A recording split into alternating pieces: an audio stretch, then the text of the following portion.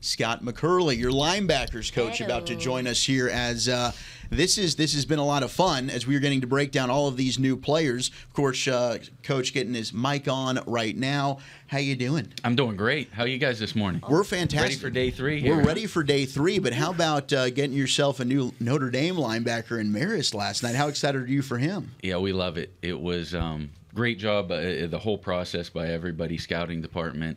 Um, Paul Gunther, our run coordinator, was uh, one of the first ones to put his eyes on him too, and um, got out to his pro day. We were lucky enough to get um, him in here for a 30 visit, and the 30 visit was just was great. He's a uh, I mean, first thing, he's a great kid, great human, really smart football player. We got a chance to to sit down with him, put him on the board, do those things with him. Really smart, and um, when you see that kind of tape coming from uh, that that kind of player, when you get to know him, um, you get really excited about it. So, Oh. it, we're really excited about the pick. Yeah, a lot of safety, uh, uh, rover hybrid type background from his days in high school in Honolulu, Yeah. and he gets to Notre Dame and he has this blitzing specialty that he, that can kind of work on third down. Is that something you guys identified, and that's kind of what makes Maris really fun as a second level player? No question. I, I think the value he can add to us um, in, in the base packages, being a Sam who can blitz, um, he can win versus O lineman. Um, he definitely is a good matchup against backs.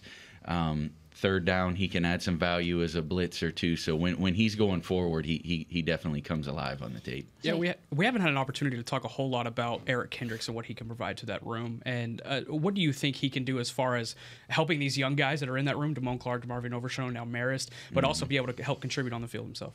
Uh, it, it's been huge having him. I, I mean, the loss of of Leighton last year, um, that that that's just something that is a leader and being someone in the room is is it's tough um, because he he was that guy for us last year and. Um, now that he's moved on, I mean, Eric comes into the room, and, and that's the role he's going to take. For one, I mean, he's got great familiarity with Zim's scheme, which is huge um, to, to bring him into the room, um, just to be able to communicate with him as a coach, um, in, in his ability to communicate with the players, get everything set. Um, it, it, has been great. The, the first couple weeks with him have, have really been awesome having him in the room. I had a bit of a two-parter. So you mentioned uh, Maurice as Sam and what you think you're able, he's able to do there. With the communication and the IQ, though, do you see him being able to be in a mic role at any point in time? I, I think the the potential's there, Yes, uh, sir. based on uh, you know how smart of a player he is. You know, um, I, I think the potential down the road is a green dot type guy. Yeah, you, you could definitely see that. You know, but. Um, um, right now, we we want to put him in positions he can succeed with early, and then really um, we'll, we'll see where he grows to because he's still got a ceiling um, that, that that we think he can grow into be a good uh, every down football player. Yeah, second part is uh, you have Kendricks, uh, obviously. Oh, one second. We're going to come back on the fan side, and then, and then I want you to ask that question. Yeah, Okay. ju- just to uh, make sure we can reset top of the hour. Of course. Appreciate you, Coach.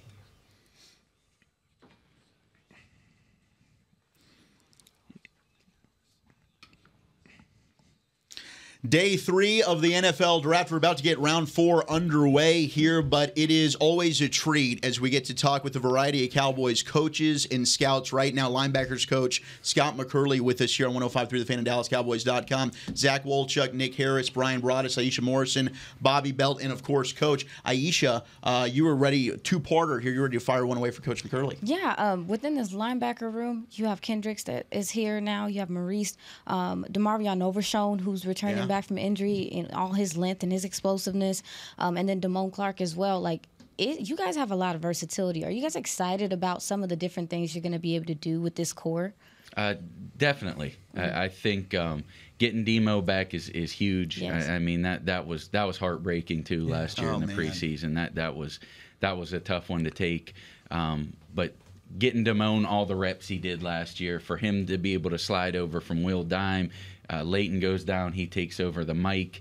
Um, we feel really comfortable about him playing really any position back there, um, even the Sam now moving forward and things. So um, Eric obviously bringing him into the room and and uh, Maris. So it, it's it's going to be, and we hope to add today, you know, and and that we we still need some numbers in the room just overall. absolutely. So but by the time training camp comes around, we we really hope to have a competitive group um, going into going into the fall. What what trait did you identify coming into the draft or coming into the offseason that you said I really want to get more of this in the linebacker room.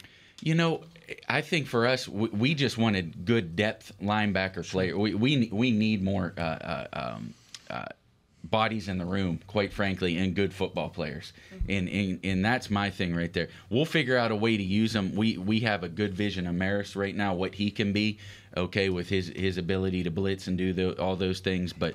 Um, we want good football players in the room that are going to create competition.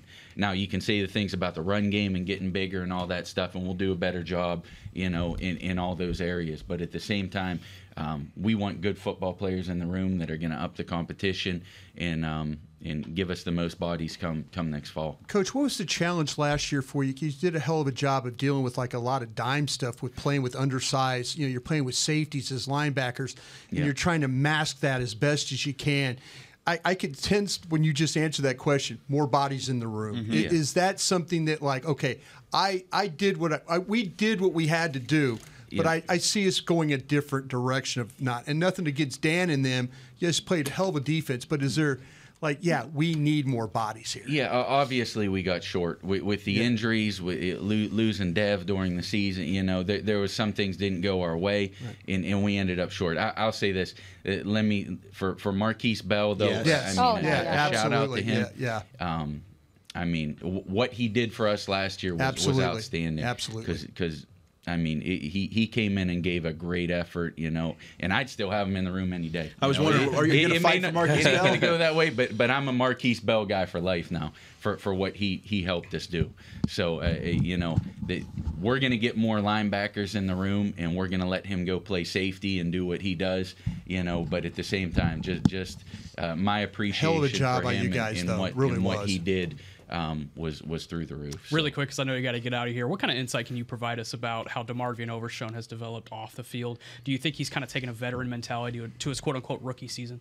Well, I- I'll say this: the way he's attacked, you know, his his rehab, Yeah. um, extremely impressive. I mean, he he's he's ready to go. He's itching to get back out there. If he could go out and take all the the OTA reps right now, he'd do it. And and he, I mean, Britt's done a great job with him, and I think he's ready to go. So it, it's going to be real exciting for him come come training camp. Mm-hmm. And Cowboys linebackers coach Scott McCurley with us. Coach, thank you so much. Thanks, guys. Hey, and congratulations. Yep. It's going to be fun. Yep, thank you. you.